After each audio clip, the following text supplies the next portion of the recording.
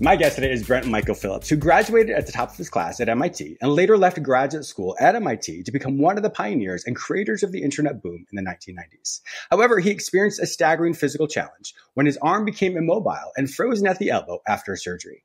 After a long battle of unsuccessful treatments, Brent experienced a miracle when his elbow instantly healed from energy healing. Today, he's an internationally known and best-selling author and speaker, and the media has called him the number one most powerful American healer and spiritual teacher. In today's episode, Brent and I talk about his new book, The Formula for Miracles, where science reveals the secrets of the spirit, part two. Brent's mission is simple to share the world's most powerful consciousness technology to help people everywhere to improve their lives and end suffering. Welcome to Lifeology. Oh, this is great. Excited to be here. I am as well. Uh, my listeners may not remember this, but years ago you were on my show when I just went on to radio. So now years later, we're back. We look younger than ever. we're going to have a great show today. Awesome. So you, uh, being a scientist, being MIT, I mean, you've done all these different things. I remember reading more about your backstory. There were, uh, I think there were a lot of internet games or gaming that you worked on that was like your life and you were just put all of your energy and time into that. And you worked like hundred hours a week and pretty soon your body just couldn't handle that. Tell us what happened with that and what happened with your shoulder, et cetera. Well, long story short, I, I grew up as a pretty much a stereotypical nerd. I love Star Trek, Star Wars, Dungeons and Dragons, the early video games, right? So I went to college and ended up at MIT where I discovered the internet, which sounds funny today, especially for the younger listeners. But yeah, I know, right? back in the 80s, no one had ever heard of the internet, right? Yeah, of course. And so I, I was like, wow, I'm like, this is incredible. So I made that the focus of my studies. I got my bachelor's degree, my master's degree, and I was actually working on my PhD as part of what was called the Telemedia Networks and Systems Groups. And basically, we were sending video and audio over the internet. Oh wow, wow! That's back in the early '90s. Back then, which was that awesome. is crazy. Yeah, that is awesome. And so, when uh, the World Wide Web Consortium landed at MIT, I made all sorts of great connections in the web world. Mm, and I decided, well, I'm going to make my fortune. So I left MIT, moved to California, recruited my lifelong best friend, and we started a website company. Wow! And the very first website we got is we did the launch of the Sony PlayStation, summer of 1990. Oh, really? Oh my that gosh, that's amazing! Project, right? Wow, it was pretty amazing. So things got off to a great start. After one year, I had 15 people working for me. We had five Fortune 500 clients, including Disneyland, Nissan Motors, and Sony are the ones you would have heard of, right? Mm-hmm. We even launched a second company to create an online game based on the technology I had created in graduate school. Wow. I'm like, hey, I can take all this audio video tech and use it to run a real time online game. And so yeah. it was, in a sense, the first metaverse ever created, the first graphical metaverse. Wow. But the, the, there was a dirty little secret. One was the game was 10 years ahead of its time. Oh, gosh. So it didn't yeah, do well commercially. Yeah, so yeah, late, it created an entire new genre of today what we call mocks. So oh, it was okay. groundbreaking both culturally and technologically, but it was so ahead of its time it didn't make money, right? Mm-hmm. And then the other dirty little secret was the reason these companies were so successful is because I was there chained to my desk 80, 90, 100 oh, hours a week. Sure. Sure. Because I wanted to be successful with these companies more than I'd wanted anything, right? Mm-hmm. Especially mm-hmm. the game company. That was my baby. I had worked on this technology at MIT for what, four or five years? And then, you know, turned it into a game to release to the world. Oh my mm-hmm. gosh, right? Yeah. And so I was willing to do whatever it took to be successful. But my body had a different opinion. Sure. my body couldn't handle it. And long story short, my body broke down. I started having really severe pain and injuries, and it got really difficult to work. And uh, to make a long story very short, I spent three years in conventional therapy. I didn't better, I got worse. Oh, gosh, and wow. After three years, I finally got in to see the head doctor at Kerlan-Jobe. And so this was a big deal, right? Yeah, three years. And I'm like, wow, this guy's going to know what to do, right? Yeah. He had, he had done surgeries on Magic Johnson and Orel Hershiser and like all these big stars I had grown yeah. up watching, right? All these big sports stars. And I'm like, wow, this guy's going to know what to do, right? And I was so excited. I was literally putting X's on the days on my calendar. It was like I remember when I turned 16 and got my driver's license. It was that kind of excitement. I just couldn't wait. Yeah. And I go in to see him, and he's this kind of stately Southern gentleman sitting. You know, he's got the the white beard and the big glasses, right? The And he's looking at my files, and he just looks up and he goes, "Well, I'm sorry, son. There's not nothing I or anyone can do for you. You're never going to be out of pain, and you'll never be able to go back to work." And I was just like, "What?" I didn't expect Wow. that, right? Wow. I expected he'd be like, "Let's do this, let's do this, let's do this," right? I Yeah. figured, he'd Especially the head of the yeah, head of the yeah, head of the, the Yeah. hospital. Of course you think that. Yeah, well, he was he was the head guy at the Kerlan-Jobe Clinic, which is the top Yeah. physical therapy clinic course. in the Western United States, right? Mhm. Huge, huge. And he said, last thing he said before I left, I was in his office for maybe a minute, right? He said, "Son, is there someone that can take care of you till you die?" I was like, "What?" He's like, "I'm going to do you a favor, put you on lifetime disability now because you're never going to be able to work. You got someone that can take care of you." I'm like, "I guess my Mhm. mom." And he's like, "Well, good." And that was that. And on the way out, his secretary was like, Oh, Mr. Phillips, just want you to know, we've canceled all your appointments. Please don't ever come back. Oh my god. I was like, What? Right? Wow. so here I was, 27 years old, living with really severe chronic pain. Mhm. I, I can't work, right? And I've been told there's no chance of recovery, that I'm going to be on disability until the day I Yeah. die. It was crushing. And so I went to my business partner and lifelong best friend and told him what, what was going on. I figured he'd be like, hey, Brent, I got your back. We'll figure out a way to get through this together, right? That's the way it had always been. We, we were like brothers. We were so close. That, that some people even thought we were gay lovers because we were that close. That's funny. when I was at MIT for what, seven years, we talked on the phone every single day Mm, right? We were wow. that close every day. And and he was like, "Sorry, Brent, if you can't work, we have no use for you here."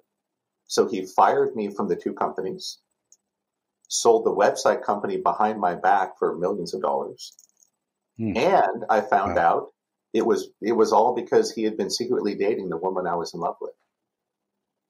Oh wow. There's a there's So a twist I didn't see. right? yeah. I was in terrible pain. Was told I'd be on disability till the day I died. I had no money. I was living with my parents. Hmm. uh, and I had lost my lifelong best friend and the woman I was in love with.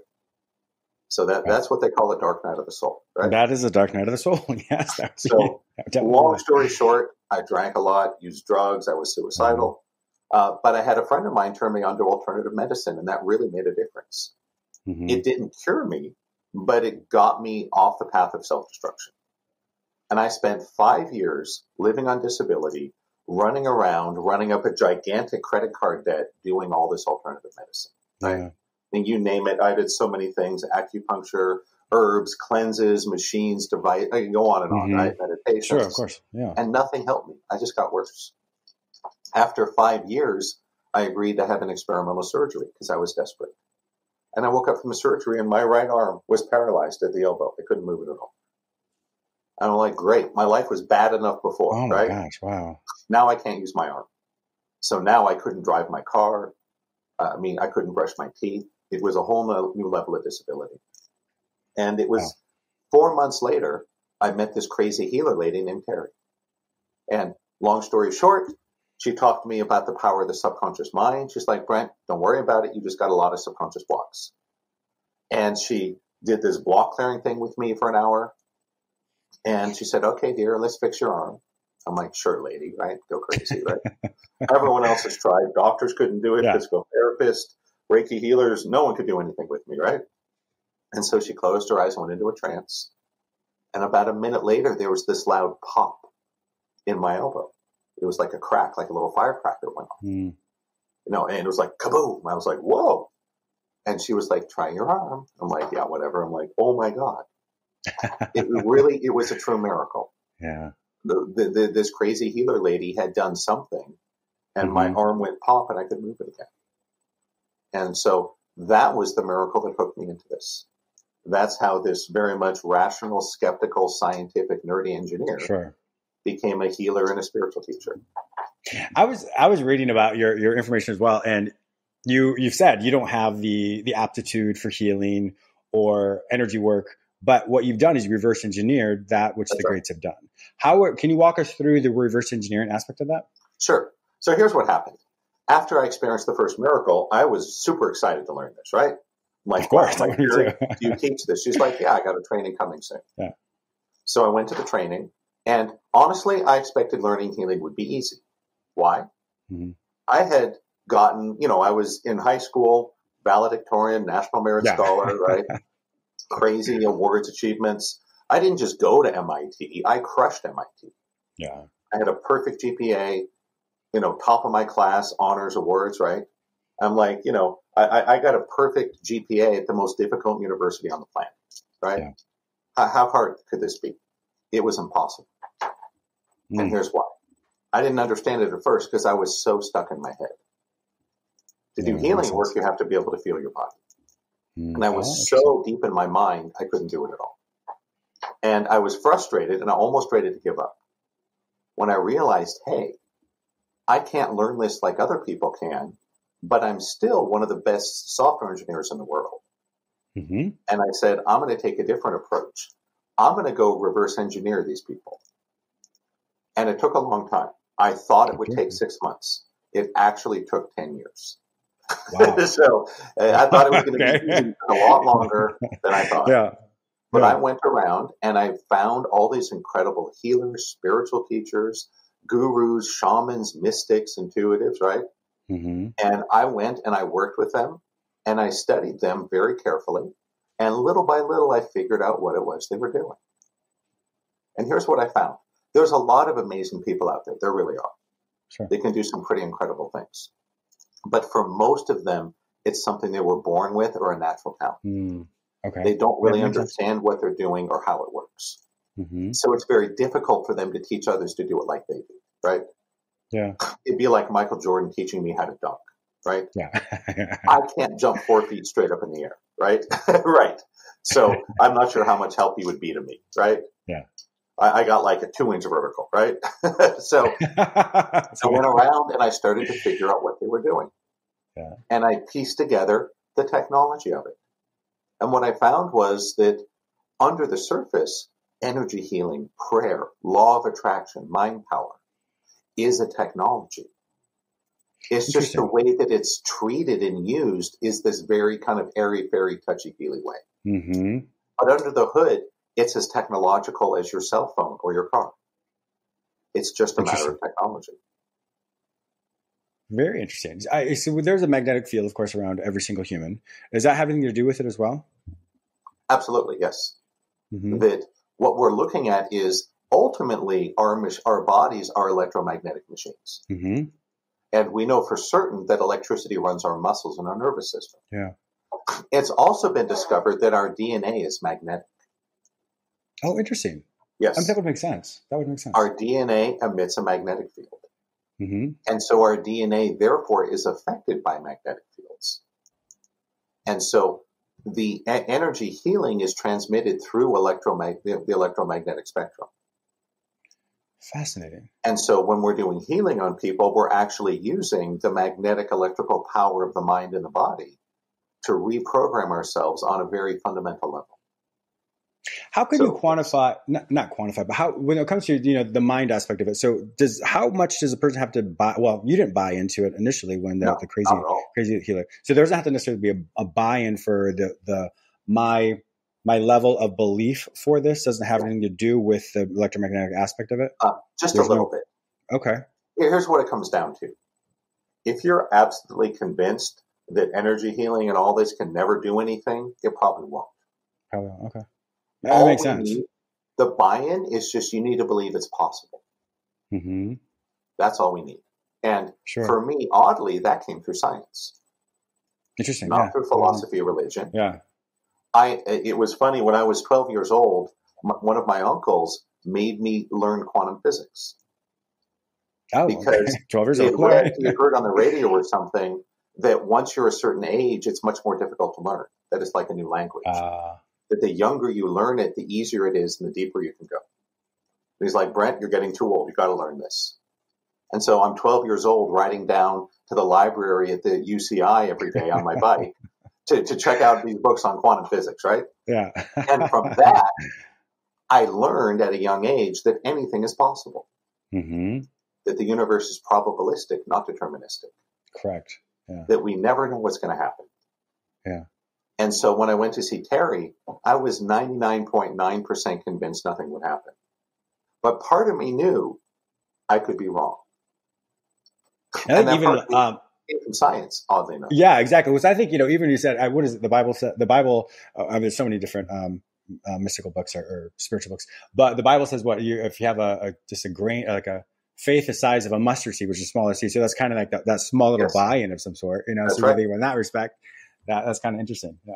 You just need to believe it's possible. That's mm-hmm. all. That that's all. That's the crack the universe needs to slip in a miracle. Mm-hmm. A lot of people who listen to my show right now, including myself, I mean, I, I am if psychology, that's my world. And so for me, it's interesting to hear because I've heard so many different philosophies of different things and when it can be backed by science, I love that. I mean, obviously that's, that's the, what substantiates you and why yours is, yours, your, your the formula for miracles is so different from other things is because you have the science behind it. Uh, for people listening right now, uh, just joining us right now, I'm talking with Brent Michael Phillips, and we're talking about his book, The Formula for Miracles, where science reveals the secrets of the spirit. Brent told us about his amazing story, so make sure you go back and listen to that if you're just not tuning in. But Brent, tell us more about this book. Let's transition into it. The Formula for Miracles, once again, where science reveals the secrets of the spirit, part two. The first one is what it's the same thing, but it's part one. Second one, um, it's actually a three part series. Walk us through, I guess, the, the, series itself real quickly, and then we'll jump sure. in specifically. So the first book is is really the, the, the human element. It's my story. Okay. Okay. The, where did I come from? What happened? What was the human drama? What were the major characters?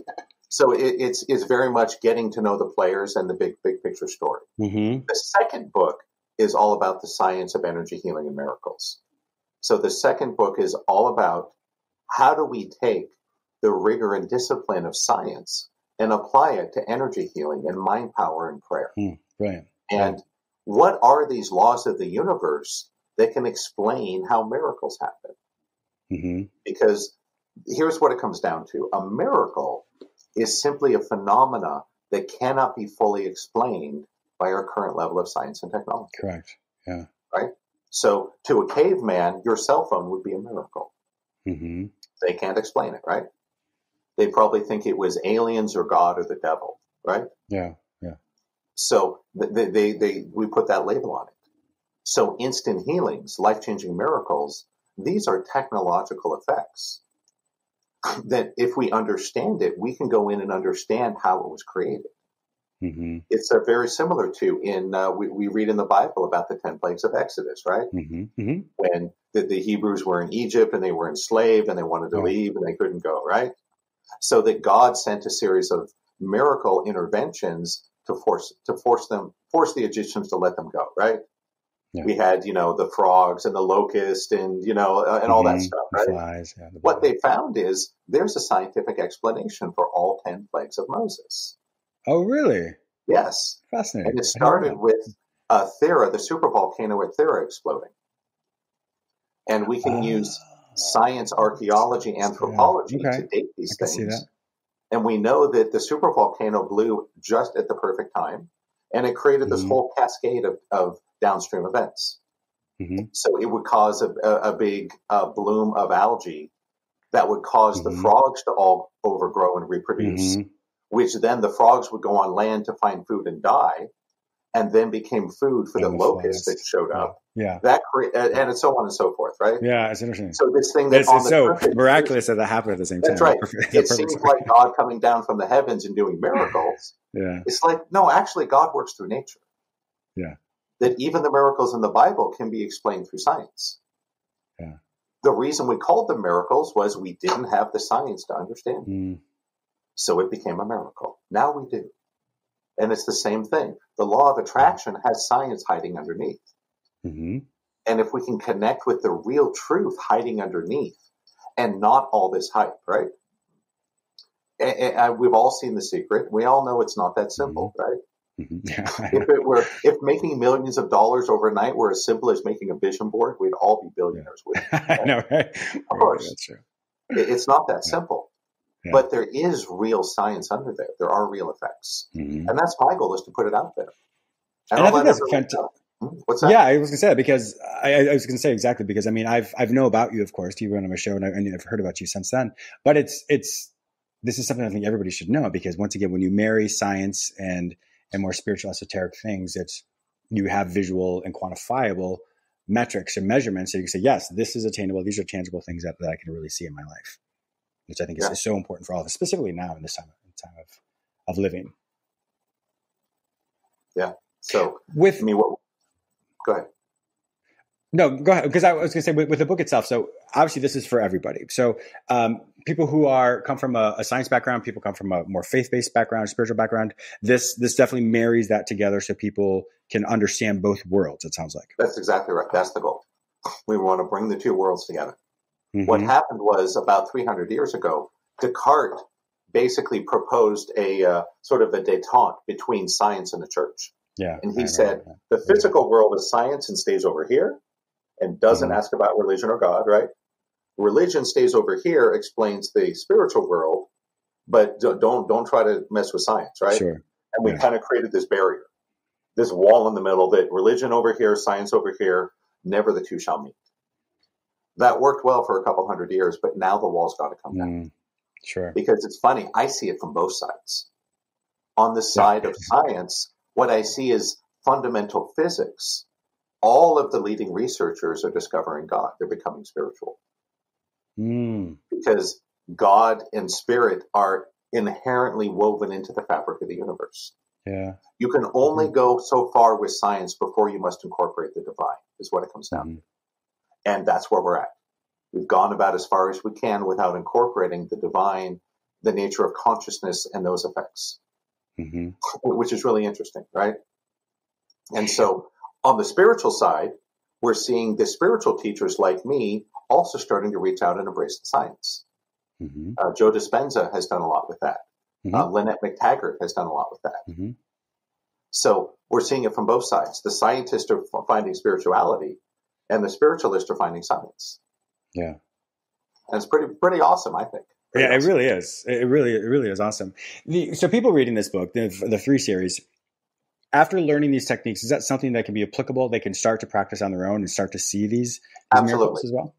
That uh, those interested in getting training in how to do this, it takes me about two hours to teach you how to go and train into a theta brainwave mm-hmm. and perform a healing process. That's yeah. it.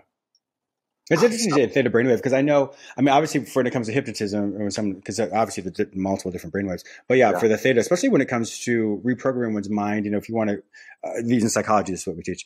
So when, when you're just before you fall asleep, when you're in theta brainwave state, that if you want to, when you use visualization, of course, so that allows you to sleep, so your subconscious then works through that. So when you wake up, you've assimilated that into the platform of who you are, and all of a sudden that gets you one step closer. So obviously, yours is so much more in depth than that but that is something I know from a psychological standpoint. That's really what we teach as far as how to really change one's cognitive structure is to go into theta brainwave state just before you fall asleep.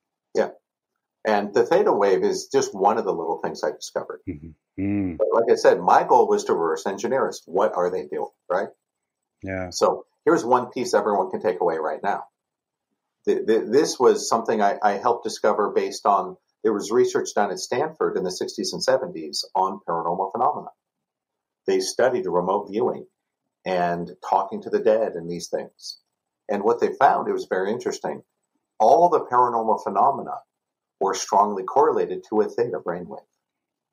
Interesting. Which is fascinating. And what I've since wow. learned is the theta wave is like a magical key that unlocks the subconscious mind. That wow. when your brain is in a, your normal beta state, mm-hmm. the subconscious is like a bank vault. It's closed and locked right? There's money in there, hmm. but you can't get to it. Yeah. When you're in the theta state, which normally happens just when we're asleep and dreaming, mm-hmm. the, the bank vault opens and we can get in.